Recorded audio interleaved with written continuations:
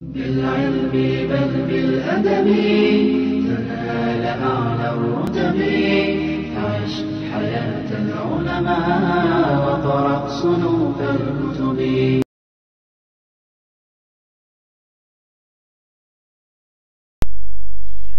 بسم الله الحمد لله والصلاة والسلام على رسول الله. السلام عليكم ورحمة الله وبركاته. وأهلا وسهلا بكم في درس جديد من سلسلة دروس Microsoft SQL Server. 2008 اللي بنقدمها لكم تحت رعاية أكاديمية وموقع وقف أونلاين. هنكمل إن شاء الله في الدرس دوت آه، موضوع ال stored procedure أو الإجراءات المخزنة. آم، هنكمل برضو موضوع آه، إحنا كنا ماشيين في موضوع ال parameters جوه الاجراءات المخزنة أو المتغيرات جوه الاجراءات المخزنة أو ال stored procedure. هنكمل إن شاء الله الموضوع دوت.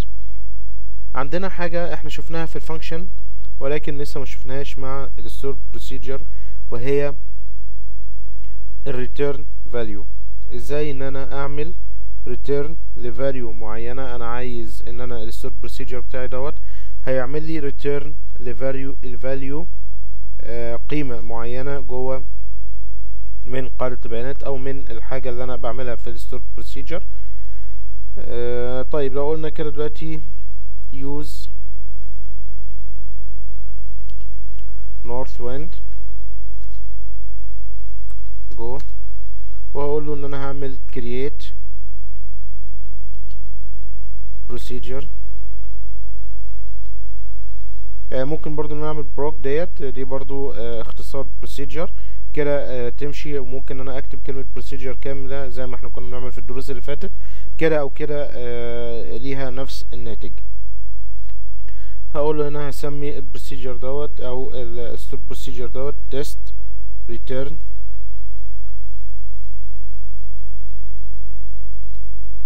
As. هقول له هعمل هنا دلوقتي متغير هقول له declare. At num as integer. وبعد كده هقول له at num equals to at at row count. آه row count ديت دالة جوه ال built in functions بتوع ال stored procedure دالة جوه الدوال المخزنة جوه ال stored procedure كل وظيفتها إن أنا لما بقول له إن أنا عايز ان أنا دلوقتي ان, أنا جبت له جدول ومجموعة حقول مجموعة سجلات فبيعد لي في كام row في الجدول دوت اللي أنا هعمله. يعني أنا دلوقتي هقول له الأول select all from مثلا orders.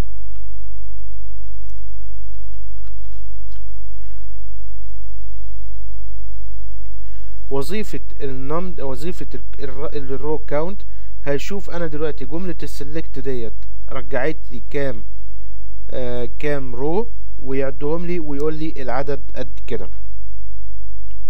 طيب هقفل دلوقتي ال stored procedure إن أنا هقول له return at num. يبقى أنا دلوقتي بقول له رجع لي قيمة المتغير دوت اللي هو اسمه ال num طيب دلوقتي هنعمل آه، execute ونشغل ال ال آه، الاستعلام دوت. طيب أنا دلوقتي بقى لما يجي أشغل هشغل الايه ال ال stored procedure دوت. هاجي اعمل دلوقتي execute وعايز أعرف أو عايز أشوف القيمة ديت أنا ممكن أستخدمها إزاي. القيمة اللي أنا قلت له يرجع لي يعمل لي return لكلمة num ديت. عايز أعرف أنت هتعملها لي أو الجهاز يرجع لي إزاي قيمة ال row count ديت. طيب تعالى كده نقول له الأول هنغ... هنعرف هنا متغير هناخد استعلام جديد واقول له برضو use north wind. جو هنا عشان أخد قيمة عشان أعرف إن أنا أجيب قيمة ال return value ديت ال value اللي أنا عايز أعملها. لازم الأول بغير لازم الأول إن أنا بعمل له متغير هنا هياخد القيمة اللي هتجيلي من الجملة ديت. يبقى أنا هعمل متغير الأول علشان المتغير دوت هيجيلي هياخد في الآخر خالص القيمة بتاعة البروسيجر دوت كله على آه، بعضه.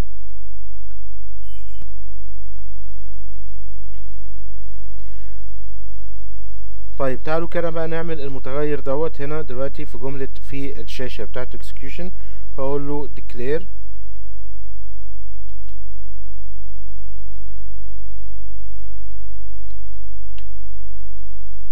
add count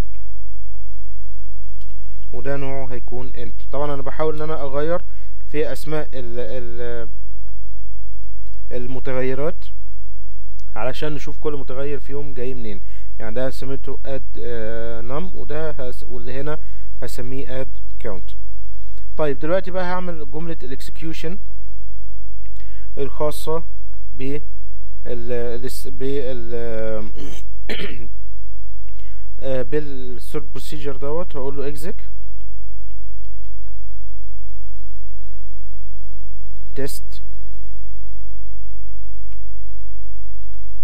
آه، test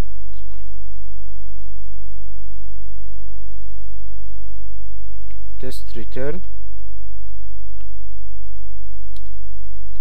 طبعا أنا دلوقتي أقول هنا select add count. أنا هنا لما بقول له الكلام دوت. طبعا أنا هنا ما اديتش برضو الكاونت أي حاجة. تعالوا كده نشوف لو اديته دلوقتي execute. طبعا هنا اداني كل القيم اللي إحنا اللي هو آه، عمل لي ال execution فعلا. إن هو select all from orders وجاب لي بالفعل كل القيم اللي موجودة جوه أو جوه جوه كل ال ال- الصفوف أو كل كل الحاجات اللي موجودة في جدول orders ولكن هنا لو بصينا إن أنا لما قلت له إن أنا عايز add count دوت اللي أنا المفروض إن أنا هديله القيمة بتاعة ال row count ما ادانيش أي حاجة اداني null يبقى أنا عايز أقول له إزاي بقى أطلع ال return value ديت أو آخد ال return value هنا بكل بساطة هنا هقول له add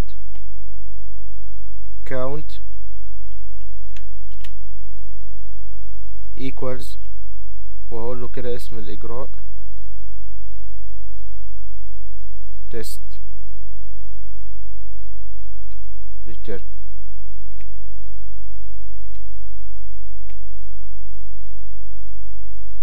تعالوا كده بقى نشغل الاكسكيوشن دوت.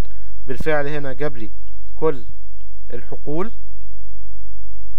وفي نفس الوقت هنا كمان حط لي ال return value بتاعته ال return هنا اللي هي ال row count حطها لي فين؟ في المتغير اللي أنا قلت له ياخده من الحقل دوت. يبقى أنا لو عايز إن أنا أعمل أي return value عايز أشوف قيمة معينة آه، أعملها return زي ما كنا بنعمل في ال function هنا العملية معقدة شوية عن ال functions إن أنا آه، بعرف متغير جوه بقى وأنا بعمل عملية ال execution وأنا بشغل ال stored procedure دوت بعمل آه، متغير. والمتغير دوت بديله قيمة بقول له بيساوي لما بقول له دلوقتي exec عايز أشغل ال- البرامج عايز أشغل ال stored procedure بقول له إن ال- ال- المتغير دوت أو ال- ال- ال parameter دوت اللي أنا عملته هيساوي قيمة المتغ... الاجراء هقول له بيساوي وأقول له اسم ال stored procedure وبعد كده هقول له مثلا select count هلاقي إن هو هنا بالفعل جاب لي القيمة بتاعته. كده يبقى الدرس دوت انتهى. شكرا لكم على حسن المتابعة والسلام عليكم ورحمة الله وبركاته.